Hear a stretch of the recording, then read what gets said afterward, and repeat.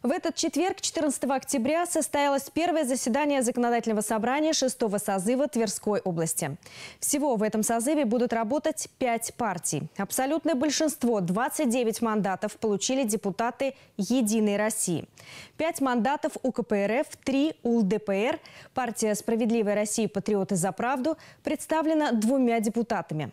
Впервые в областной парламент прошли Российская партия пенсионеров за социальную справедливость, которая получила один мандат.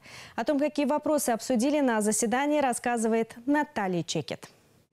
На первом заседании парламентарии рассмотрели, как будет построена работа законодательного собрания. Избран спикер парламента, заместители, председатели комитетов и сенатор от Тверской области в Совете Федерации. На первой встрече законотворцев присутствовал губернатор Тверской области Игорь Руденя. В начале собрания глава региона обозначил основные направления для развития Верхневолжья нашей демографической политики. Это развитие инфраструктуры в городах, в малых городах, в столице, в э, поселениях, в сельской местности.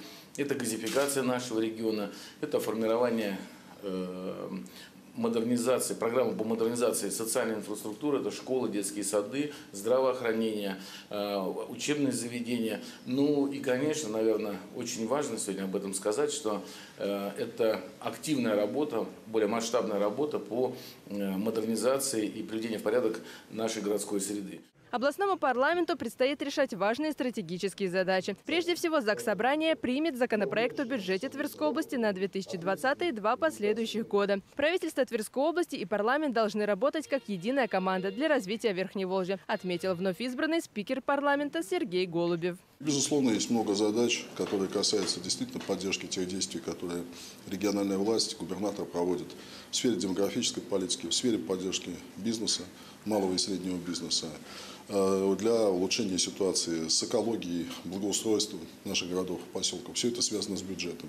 По итогам общего голосования депутатов Андрей Епишин наделен полномочиями сенатора Российской Федерации от Тверской области. Все мои планы работы, в первую очередь, связаны с планом работы правительства Тверского законодательного собрания.